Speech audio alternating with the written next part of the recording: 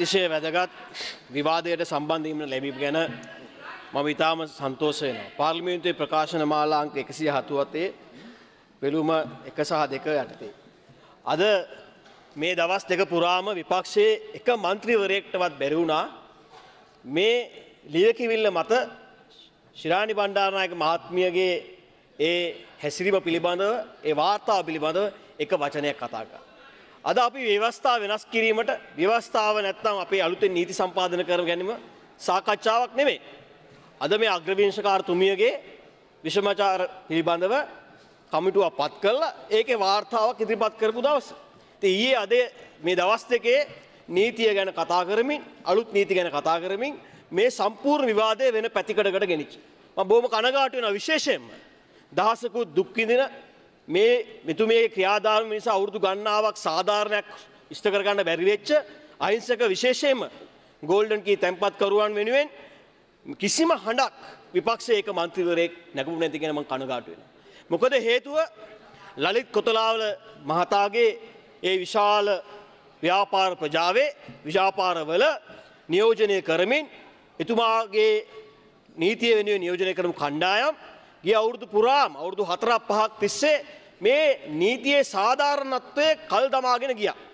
ඒ නියෝජනය කරපු නොයකුත් අය අවාසනාකර වගේ අද පාර්ලිමේන්තුවේ මන්ත්‍රීවරුන් දෙදෙනෙක් ඉන්නවා නීතිය වෙනුවෙන් විශේෂයෙන් සුමන්දිරන් මන්ත්‍රතුමා එතුමා පැවසුවා ඔහු ඒ කණ්ඩායම නියෝජනය කරා කියලා. ඒ වගේම අපේ විජේදාස රාජපක්ෂ මන්ත්‍රතුමා පැහැදිලිවම කිව්වා එතුමාත් නියෝජනය කරා කියලා මේ පාර්ලිමේන්තුවේ එතුමා පැහැදිලිවම The hon- honorable member said that I, I represented uh, Silinko, I did, uh, Kotalavalas, I did not.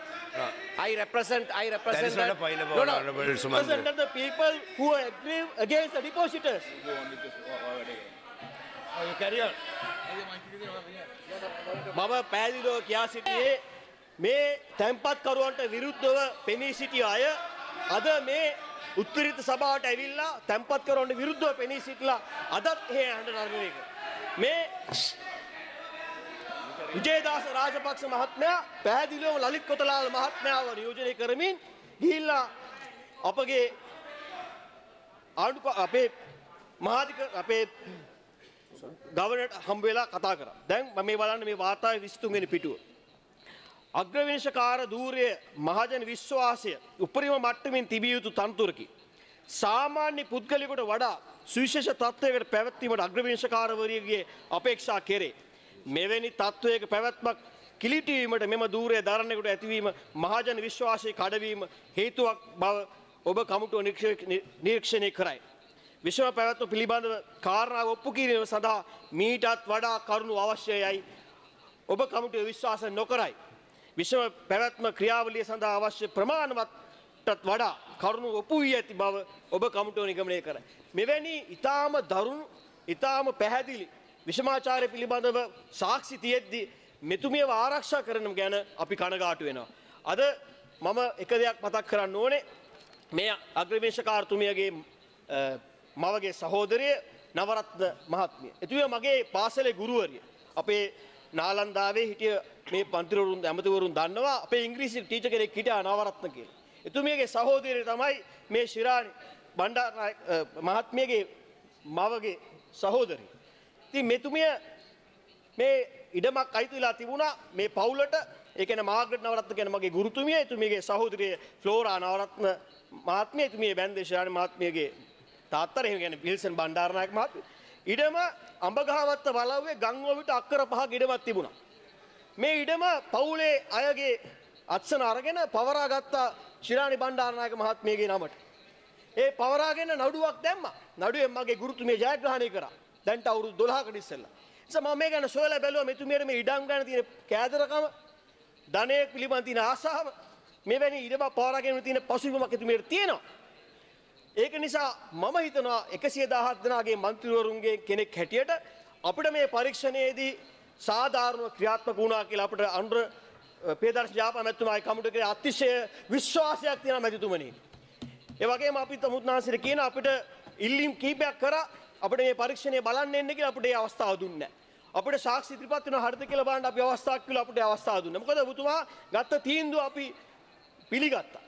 නමුත් මෙතන කරුණු පහල දහතරක් අපි ඉදිරිපත් කරා ඒකෙන් කරුණු හතරකින් පැහැදිලිවම ඔබතුමා කියා සිටිනවා එක දෙක තුන හතර පහ කියලා තේන්දු කරත් දෙවනි සහ තුන්වෙනි එක අපි ඉවත් කරනවා කියලා. ඉතින් අපිට අවස්ථාවක් නැහැ ඒකට කරුණු ඉදිරිපත් කළා ඔහු එතුමියව නිර්දෝෂ නැහැ කියන්නේ. එතකොට මේ 117 දෙනා වෙනුවෙන් නියෝජනය කරන්න අපිට අවස්ථාවකුත් නැහැ. ඒක ඇත්ත. හැබැයි එකකට හරි වරදක් කරලා තියෙනවා නම් එතුමිය මේ දූරය දරන්න සුදුසු නැහැ කියන දේ අපි දන්නේ.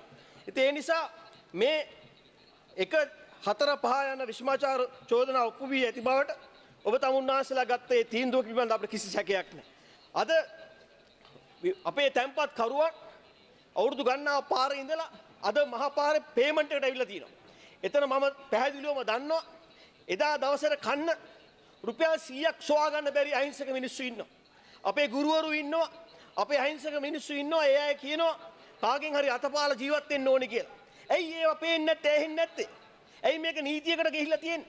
ඇයි මෙතුමිය මේ පැහැදිලිවම ලලිත් කොතලාව මෙතුමා නියෝජනය කරමින් එතුමිය එත්- එත්- එතුමාගේ සල්ලි වලින් නියෝජනය කරන නීතිඥ මහතුරුන් හරහා නඩු කල් දාලා නඩුව විසි කරලා දාලා ඒ අය පාට දාද්දි මේ ලලිත් කොතලාල් මහතාගේ සම්පූර්ණ සෙලින්කෝ ව්‍යාපාරයේම ඒ අවශ්‍යතාවය සඳහා නියෝජනය කෙරිද්දි අපේ ශිරාණි බණ්ඩාරනායක අප- මේ අග්‍රවේශකාර තුමිය ඒකට සාධාරණ කිෂ්ට කරේ නැහැ කියලා පැහැදිලිව පෙනෙද්දි ඒ ආයතනයේ ලක්ෂ 16ක වට්ටමක් අරන් ඉඩමක් ගද්දි ඒකේ කිසිම අවස්ථාවක උසාවියෙන් අවසරයක් ගන්න එපා ගන්න නැතුව විකුණන්න එපා කියද්දි එහෙම අරගෙන ඊට පස්සේ සරත්ෙන් සිල්වා මහතාගේ තීන්දුව අනුව ශිරාණි තිලකවර්ධන මහත්මිය අනිවාර්යයෙන්ම මේ නඩු ඉවරනකම් අහන්න ඕනේ කියලා කියලා තියෙද්දි සටහන් කරලා තියෙද්දි ඊට පස්සේ පස් දෙනෙක්ගේ විනිසුරු කමුටක් කමුටුවක් ඉල්ලද්දි මේක අතට අරගෙන තමන් විසින්ම තමන්ව පත් කරගෙන මේ නඩුව කල් දැමීම ගැන අපිට කිසිම සැකයක් නැහැ. මෙතුමිය මේ ගැන කිසිම අවංක අදහසකින් නෙවෙයි ක්‍රියාත්මක කරලා තියෙන්නේ. මෙතුමියට අවශ්‍යතාවය තිබිලා තියෙනවා තමන්ගේ පුටුව පාවිච්චි කරගෙන, තනතුර පාවිච්චි කරගෙන මේ ක්‍රියාදාමය සඳහා ක්‍රියාත්මක වෙන්න. නිසා අපි ආරාධනා කරනවා ඉල්ලීමක් කරනවා විපක්ෂයෙන් අපේ 117 දෙනාගේ මන්ත්‍රීවරුන්ගේ ඒ තනතුර අපේ අත්සනට තමුන්නාන්සේලා බාල්දු කරන්න එපා. තමුන්නාන්සේලා මේ උත්තරිත සභාව ගැන අවංකව හිතන්න.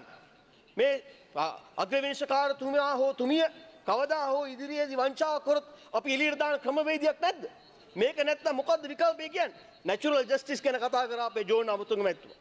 නැචරල් ජස්ටිස් සම්පූර්ණයෙන් මෙතන ප්‍රශ්නයක් වෙලා නැහැ. අපි ආයතනයක කෙනෙක්ගේ ප්‍රශ්නයක් ආවොත් CEO වෙන්න පුළුවන් අධ්‍යක්ෂ මණ්ඩලයෙන් ඔහුගේ වැඩසටහනක් කරලා පරීක්ෂණයක් ආරම්භ කරලා ඒ මූලික පරීක්ෂණයේ වර්ධකවරයෙක් කියලා please. ඔහුට ඊට පස්සේ නිරූපණ ක්‍රමවේදයක් තියෙනවා. ඉතින් මෙතන මේ සියලු දේවල් අවසාන වශයෙන් ජනාධිපතිතුමා විසින් පත් කරන කෙනා එතුමාට ඉවත් කිරීමේ හැකියාව තිබිලත් මේ උත්තරිත සභාවට අවස්ථාවක් දීලා තියෙනවා එතුමිය පිළිබඳව කතා කරලා පරීක්ෂණයක් ඇති කරලා ඒ පරීක්ෂණයේ වාර්තාව මත ක්‍රියාත්මක වෙන.